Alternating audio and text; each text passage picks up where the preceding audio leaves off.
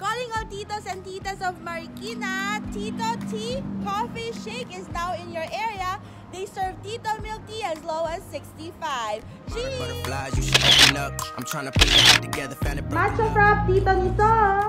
Good news, Marikina milk tea lovers! Ang titong minahal ng show ay nasa Marikina na rin.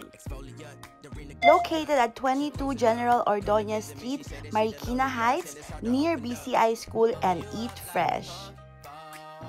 Selling various types of milk tea that you will surely love at a very affordable price. Open up. You OPN, hit you on BBM. We should be closer. Nakapili na ako ng favorite tito ko. Anong sayo? Request my chariot, get ya. The door's OPN. Take the high road and hop in. Open up, open up. Shut it down like. Pili na at i-take home ang favorite tito mo.